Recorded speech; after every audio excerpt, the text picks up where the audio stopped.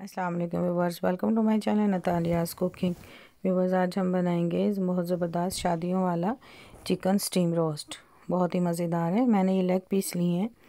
वो full chicken नहीं लिया और इसको मैंने सिरके वाले पानी में अच्छे तरीके से डिप कर दिया ताकि इसका रेड कलर निकल जाए। और साफ़ हो जाए गोश्त, इसमें स्मेल भी ख़त्म हो जाए।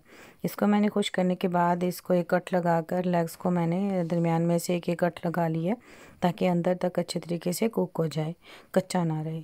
अब इसे हम सबसे पहले फ्राई करेंगे। इसके लिए हमने मीडियम टू हाई फ्लेम पे ये रखना है ऑयल रखना है और जब ये फुल गर्म हो जाए तो हमने इसके अंदर ये लेग्स डाल देनी है।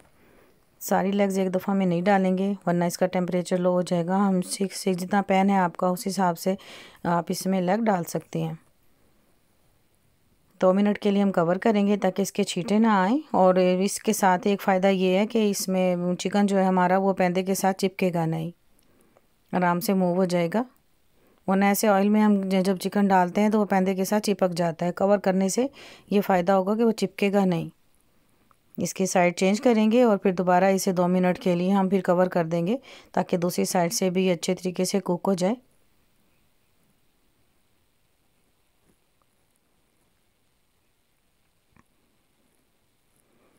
जी, अब इसका का साइड चेंज करनी है। इसको हमने लाइट गोल्डन कलर देना है। अब तकरीबन ये अच्छे तरीके से इसका कलर भी बहुत अच्छे से आ गया है और ये कुक भी हो चुके हैं। इसको तकरीबन कुक होने में पाँच से सात मिनट लगे हैं। हमने इसे फ्राई किया है। पहले आपका फ्लेम हाई होना चाहिए। जब आप इसमें चिकन डाल दें तो फिर इसके बाद आप इसका फ्लेम थोड़ा सा स्लो कर दें। मीडियम कर दें इसको। तो उससे ये अच्छे तरीके से अंदर तक ये चिकन लेग्स जो हैं, वो कुक हो जाएँगी। जी, अब इसे हम ठंडा करेंगे। रूम टेम्परेचर पे लाएँगे। अगर हो सके तो इसे फ्रिज में रख दें, ताकि अच्छे तरीके से ठंडी हो जाए। इसके बाद ये जो मसाला बनाएँगे, वो इसके ऊपर अच्छे तरीके से कवर हो जाएगा कोट हो जाएगा। जी। ये टोटली सारी चीज़ें घर की बनी हुई, घर से हम लेंगे, हम मार्केट से नहीं लेंगे। तो इसके लिए हमने लिए है जो थ्री टेबल स्पून ये हमारे पास दही है, एक अंडा है। वन फोर्थ टी स्पून वो अदरक पाउडर लहसुन पाउडर और one tablespoon chaat masala one teaspoon नमक वन टीस्पून ही सुरख दड़ा मिर्ची हैं वन टीस्पून धनिया पाउडर है टू टेबल स्पून ये सिरका है वन टीस्पून सुरख मिर्च पिसी हुई हाफ़ टी स्पून हल्दी। ये अजवाइन है हाफ़ टी स्पून और वन टीस्पून ज़ीरा। इन दोनों का हम पेस्ट बना लेंगे।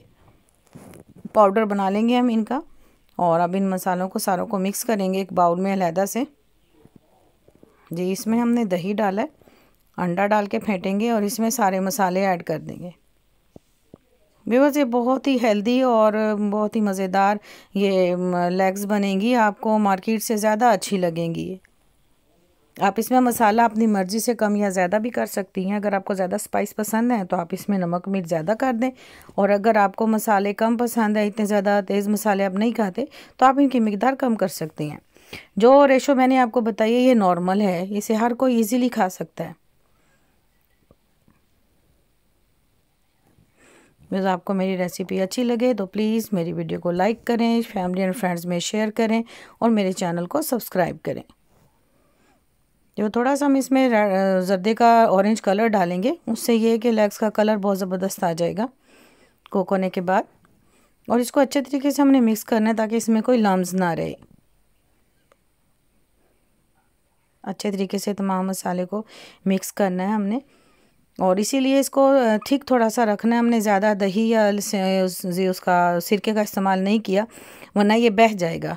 हमने इसको स्टे करना है लेग्स पर तो हम इसको थोड़ा सा थिक रखेंगे।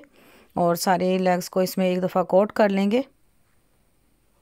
और दस मिनट के लिए हमने इसको स्टीम करना है, क्योंकि लेग्स तो सारी कुक हैं, सिर्फ़ हमने इसके ऊपर जो मसाला लगाया है, वो इसमें अच्छे तरीके से जज़ब हो जाए। इतना हमने इसको रखना भी और कुक करना है।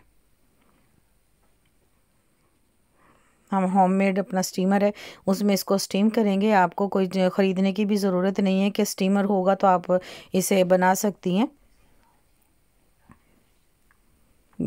पतीला लेंगे, उसमें हम डेढ़ गिलास, दो गिलास पानी डालेंगे और थोड़ा सा गरम मसाला डाल देंगे। एक बेलीव है, सौंफ, बादियान का फूल है, तीन चार लौंगे हैं। ये मैंने स्टीम नेट रख दी अगर आपके पास ये स्टीम नेट भी नहीं है, जो दूध के ऊपर जाली वाला ढक्कन होता है, हम लोग वो इस्तेमाल कर सकते हैं। आप अपने पैन में एक प्याली रखें और उसके ऊपर वो नेट रख दें। और उस पर ये कागज़ लगा दें। मेरे पास भी बटर पेपर नहीं था। मैंने ये सिंपल कॉपी के पेपर वो यूज़ किए हैं। लेकिन बस ये देखिएगा कि वो लिखे हुए ना हो प्लेन हो। एक छोटा सा पीस था बटर पेपर का केक से बचा हुआ मैंने वो लगा दिया अब सारी लेग्स को हम इसके ऊपर रख देंगे और जो मसाला बचा है, वो भी हम इसके ऊपर कोट कर देंगे। उसे ज़ाया नहीं करना हमने।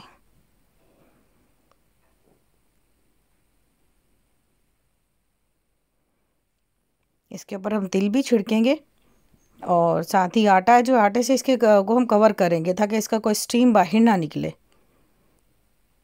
स्टीम को अंदर ही हमने रोकना है और मीडियम फ्लेम पर। फ्लेम आपने हाई नहीं करनी, उससे क्या है कि पानी खुश्क हो जाएगा एकदम और फिर अंदर से जलने की स्मेल आएगी।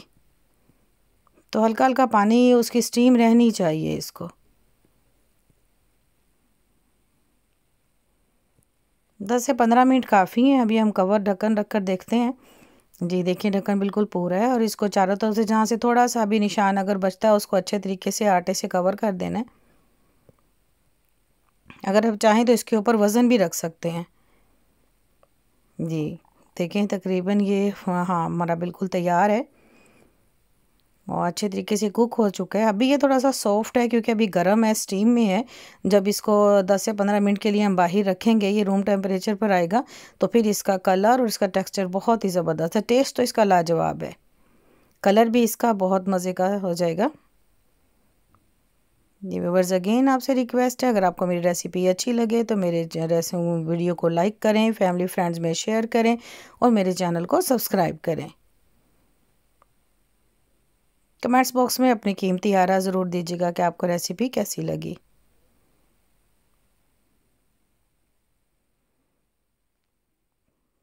जी, बहुत ही मज़ेदार सर्दियों में इंजॉय करें।